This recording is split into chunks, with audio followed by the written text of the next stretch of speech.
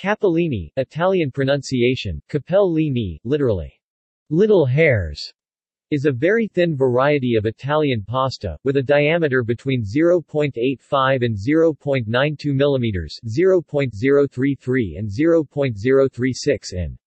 Like spaghetti, it is rod-shaped, in the form of long strands. Capelli d.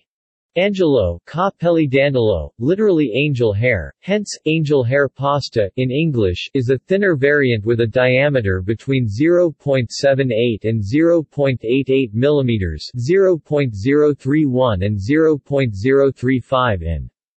It is often sold in a nest-like shape. Capelli d. Angelo has been popular in Italy since at least the 14th century. As a very light pasta, it goes well in soups or with seafood or light sauces. See also. Vermicelli. Fideo. List of pasta.